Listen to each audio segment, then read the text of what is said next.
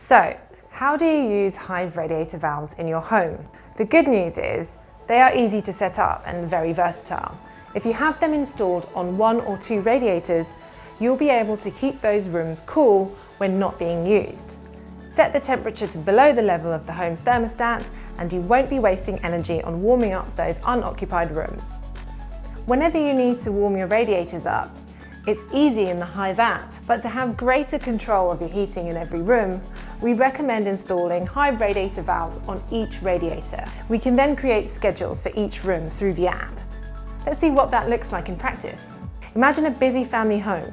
Keeping the whole house toasty all through winter can be expensive. That's when Hive radiator valves really come into their own. The living room isn't used much in the day, but it's the main gathering place in the evenings. Let's set up the Hive radiator valves to reflect that. Now, when the boiler fires up in the evening, Hive radiator valves in the, all the other rooms are closed, meaning that heat is only being provided in the living room for the time specified. Simple. The spare room is only used when guests are over, so we'll keep it as cool as a default.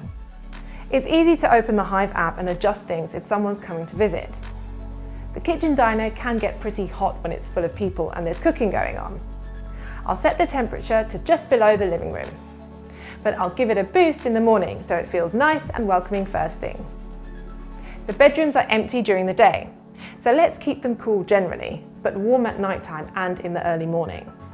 You can see how easy it is to set a schedule that keeps things comfortable for everyone all through the day, but can actually save energy and money by only heating what you need.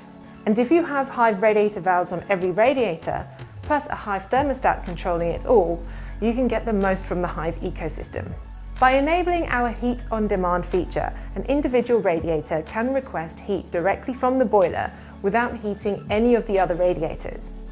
Normally it wouldn't be possible for a single room to be set at a warmer temperature than the home's thermostat, but Heat on Demand means you can do that very easily.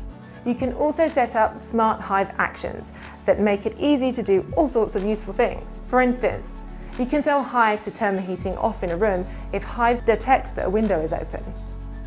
Or you can tell Hive to automatically turn the heating on if the front door is opened and movement is detected in the hallway. And of course, because it all happens in the Hive app, it's easy to integrate your other smart devices too. Maybe your downstairs lights come on at the same time as your heating whenever you come home. So that's a taste of what's possible with Hive radiator valves. They are simple to use and give you smart control of your whole heating system.